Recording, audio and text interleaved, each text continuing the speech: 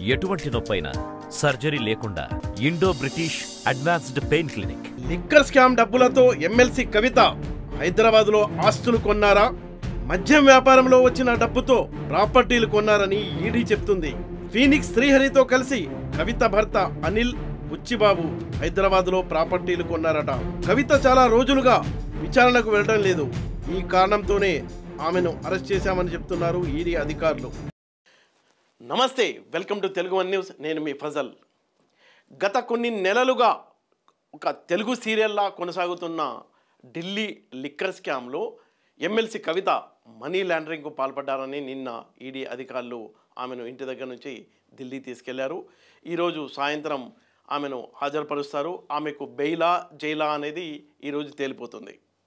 అయితే నిన్న జరిగిన పరిణామాల నేపథ్యంలో మనం మూడు అంశాల గురించి మాట్లాడుకోవాలి. ఒకటి ఇప్పుడు బీజేపీ కవితను అరెస్ట్ చేయడం వెనుక వ్యూహం ఏంటి? ఆ పార్టీ యొక్క వ్యూహం ఏంటి? సెకండ్ ఏంటంటే కవిత అరెస్ట్ సందర్భంలో కేటీఆర్ ఒక ట్వీట్ చేశారు. అందులో చంద్రబాబు నాయుడిని అంటే అక్కడ ఆంధ్రప్రదేశ్లో అసెంబ్లీ ఎన్నికలు ఉన్నాయి. అక్కడ తెలుగుదేశం పార్టీ కూటమిగా ఏర్పడింది. జనసేన బీజేపీ బీజేపీతో కలిసి ఈ నేపథ్యంలో అప్పట్లో అంటే రెండు వేల పంతొమ్మిదిలో బీజేపీకి యాంటీగా చంద్రబాబు నాయుడు చేసిన ట్వీట్ను కేటీఆర్ రీట్వీట్ చేస్తూ ఆయన ప్రస్తావించారు. మూడో అంశం ఏంటంటే కవిత ఈడీ అధికారులతో వెళ్తూ వెళ్తూ ఆమె ఒక ఒక ఉద్యమంలో ఏదో ఆదర్శాల కోసం ఆశయాల కోసం ఒక ఉద్యమానికి చేస్తున్న సందర్భంగా జైలుకి వెళ్తున్నట్టు పిడికిలి బిగించి ఆమె అలా అధికారులతో పోలీసులతో పాటు బయటికి వెళ్ళడానికి కూడా ఈ అంశాలు రాష్ట్ర వ్యాప్తంగా చర్చ జరుగుతున్నాయి. మనం ముందుగా చూసుకున్నట్లయితే కేటీఆర్ ట్వీట్ చేశారు. ఏమని ట్వీట్ చేశారంటే ఈ రెండు వేల పంతొమ్మిదిలో చంద్రబాబు నాయుడు బీజేపీని తిడుతూ చేసిన ట్వీట్ అది. సిబిఐ ఈడీ వంటి సంస్థలను ప్రతిపక్ష నేతల్ని హింసించేందుకే మోడీ సర్కార్ వాడుకుంటుందని అప్పట్లో చంద్రబాబు ఆవేదన వ్యక్తం చేశారు. బీజేపీ ఇంకెంత దిగజారుతుందంటూ ప్రశ్నించారు అప్పట్లో. దీన్నే కేటీఆర్ చాలా రాజకీయంగా రీట్వీట్ చేసి కేటీఆర్ పరిస్థితిని తాను అంతకంటే అంటే చంద్రబాబు నాయుడు చాలా చక్కగా చెప్పారు అంతకంటే నేను ఇంకా వ్యాఖ్యానించలేను అంటూ రీట్వీట్ చేశారు అదే ట్వీట్ని. ఇందులో రాజకీయ ఎత్తు కూడా ఉందని చెప్పుకోవచ్చు. ఇంకొకటి ఇక్కడ ఈ ఫోటోలు చూస్తే మనం కవిత గారు వెళ్తూ వెళ్తూ పిడికిలి బిగించి ఆమె ఆదర్శాల కోసం ఆశయాల కోసం ఉద్యమంలో సందర్భం ఉద్యమం చేస్తున్న సందర్భంగా ఆమె జైలుకి వెళ్ళున్న వెళ్తున్నట్టు ఒక ఫోటో ఫోజ్ ఇచ్చారు. అయితే కవిత అరెస్ట్ పైన హరీష్ రావు స్పందిస్తూ ఉద్యమాలు మాకు కొత్త కాదు అన్నారు. అంతేకాదు రాష్ట్ర వ్యాప్త ఆందోళనకు ఈరోజు తెలంగాణ వ్యాప్తంగా ఆందోళన జరుగుతుంది.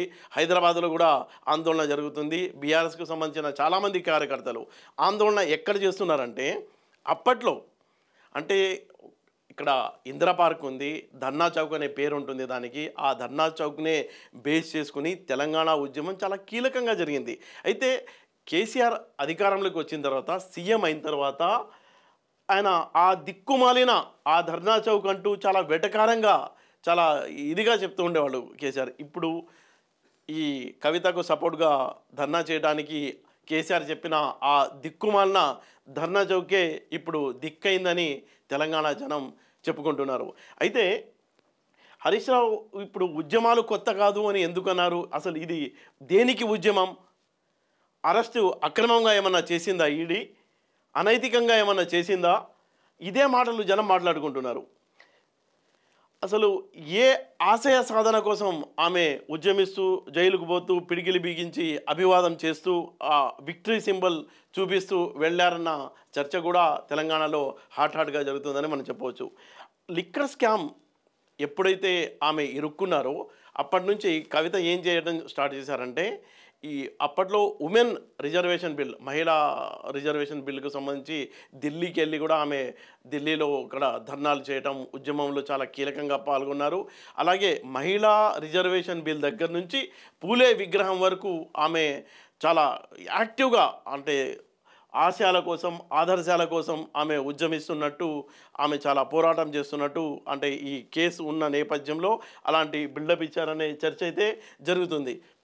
అయితే సుప్రీంకోర్టులో కవితకు సంబంధించిన పిటిషన్ ఉన్నప్పుడు విచారణలో ఉన్నప్పుడు అరెస్ట్ ఎలా చేస్తారని కేటీఆర్ ప్రశ్నిస్తున్నారు.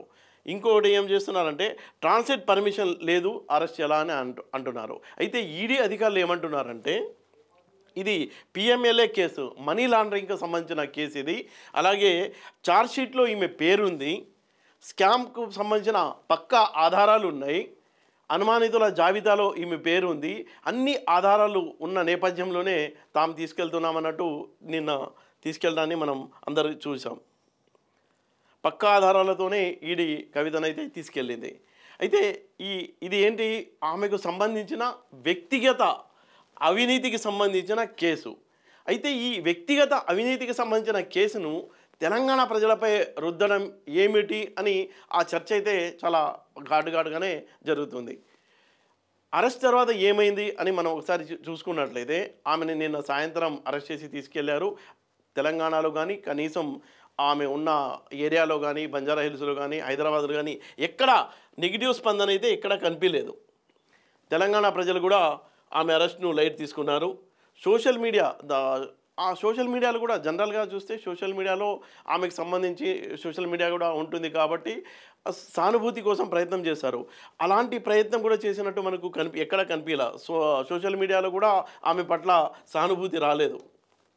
ఇక అసలు బీజేపీ వ్యూహం ఏంటి? ఇప్పుడు ఈరోజు నోటిఫికేషన్ రాబోతుంది పార్లమెంట్ ఎన్నికలకు సంబంధించి. ఈ నేపథ్యంలో నిన్న ఒకరోజు ముందు కవిత అరెస్ట్ చేయడం వెనుక బీజేపీ ఏమన్నా ప్లాన్ ఉంటుందా? పక్కా ప్లాన్ ఉంటుంది. అక్కడ ఢిల్లీ పెద్దలు చెప్పకుండా ఈడీ అధికారులు ఇలాంటి స్టెప్ తీసుకున్నారంటే అది కరెక్ట్ కాదు హండ్రెడ్ పర్సెంట్. ఢిల్లీ పెద్దల డైరెక్షన్లోనే అంటే బీజేపీ పెద్దల డైరెక్షన్లోనే ఈమె అరెస్ట్ జరిగి ఉండడం అనేది సహజం. అయితే ఇక్కడ డౌట్ ఏంటంటే అసెంబ్లీ ఎన్నికలు అప్పుడు అరెస్ట్ చేయకుండా ఇప్పుడు ఎందుకు చేశారు అన్న ప్రశ్న వస్తుంది. ఎందుకు చేశారంటే అసెంబ్లీ ఎన్నికలప్పుడు ప్రభుత్వం వాళ్ళ ప్రభుత్వం ఉంది బీఆర్ఎస్ ప్రభుత్వం ఉంది. ఒకవేళ అప్పుడు కనుక అరెస్ట్ చేస్తే శాంతి భద్రతల సమస్య వస్తుంది అది ఎటు టన్ను తీసుకుంటుంది పో ఎలా పోలింగ్పై ప్రభావం చూపుతుంది వచ్చే సీట్లు కూడా తగ్గుతాయేమో అన్న డౌట్తోనే బీజేపీ ముందు వెనుక ఆలోచించి కొంత స్లో అయిందని చెప్పుకోవచ్చు. అయితే దీన్ని అవకాశంగా తీసుకొని కాంగ్రెస్ పార్టీ ఏం చేసిందంటే బీజేపీ బీఆర్ఎస్ మధ్య పక్కా లోపాయికారి ఒప్పందం ఉంది అని చెప్పడంలో సక్సెస్ అయింది జనానికి బాగానే ఎక్కించింది. దాని ఫలితం కూడా మనం చూసాం అంటే బీజేపీ ఊహించినన్ని సీట్లు అయితే రాలేదు. దానికి అదే ప్రధాన కారణమని వాళ్ళ అధిష్టానం కానీ ఢిల్లీ నేతలు ఇక్కడ స్థానికంగా ఉన్న నేతలు కూడా అదే భావిస్తున్నారు. ఓట్ల రూపంలో బీజేపీకి ఆ రిజల్ట్ కనిపిలా. సీట్లు రాలేదనే అభిప్రాయం ఉంది. అయితే ఇప్పుడు ఇప్పుడు కవిత అరెస్ట్తో ఏమవుతుంది? బీజేపీకి బీఆర్ఎస్కి ఎలాంటి లోపాయికారి ఒప్పందం లేదు అని రేపు ప్రజల ముందుకు వెళ్ళి చెప్పుకోవడానికి ఒక అవకాశం ఏర్పడుతుంది కాబట్టి ఇంకా బీజేపీ ఆ నిర్ణయం తీసుకుందని మనం చెప్పుకోవచ్చు. ఇంకొకటి బీజేపీ కేవలం అది ఒక్కటేనా అంటే బీజేపీ ఐడియాలజీ చాలా అద్భుత ఉంటుంది. ఎత్తులు పై ఎత్తులు ఉంటాయి. అంటే ఒక అంటే కాంగ్రెస్ అవా ఇప్పుడు ఇప్పుడు కనుక చూసుకున్నట్లయితే తెలంగాణలో కాంగ్రెస్కు పన్నెండు నుంచి పద్నాలుగు సీట్ల వరకు వస్తాయన్న ప్రచారం అయితే కనిపిస్తుంది. ఈ నేపథ్యంలో బీజేపీ ఏం చేస్తుందంటే ఓ ఈ కాంగ్రెస్కు వచ్చే ఓట్ బ్యాంక్ను కట్ చేయడం ఎలా అంటే బీఆర్ఎస్కి ఏమన్నా సింపతి కవిత అరెస్ట్ మూలంగా బీఆర్ఎస్కి ఏమన్నా సింపతి పెరిగి వాళ్ళు ఒక ఒకటో రెండో ఎంపీ స్థానాలు గెలుచుకుంటే అది ఇండైరెక్ట్గా బీజేపీకి లాభమే కదా. అంటే కాంగ్రెస్ లాభపడడం కంటే బీఆర్ఎస్ లాభపడడమే బీజేపీకి ప్లస్. కాబట్టి ఆ నేపథ్యం కూడా ఉండి ఉండవచ్చని మనం అనుకోవచ్చు. ఇంకా టోటల్గా మనం చూసుకున్నట్లయితే కవిత అరెస్టు ఏమవుతుంది? అద్భుతాలు ఏమన్నా జరుగుతాయా? ఈ కేసును ఒక లాజికల్ ఎండ్కి ఏమన్నా తీసుకెళ్తారా? శిక్షలు పడతాయా? అంటే అవన్నీ ఎవరు ఎవరికి నమ్మకాలు లేవు. అంటే కొంత చికాకులు తలనొప్పి తప్ప కొంతకాలం అది ఉంటుంది తప్ప చికాకులు తలనొప్పులు లాంటివి ఈ కేసుతో వచ్చే బెనిఫిట్ కానీ అంటే ప్రూవ్ అవ్వడం కానీ కోర్టులో కేసులు అలాంటివి ఏమీ ఉండకపోవచ్చు అన్న చర్చ అయితే తెలంగాణలో జరుగుతుంది.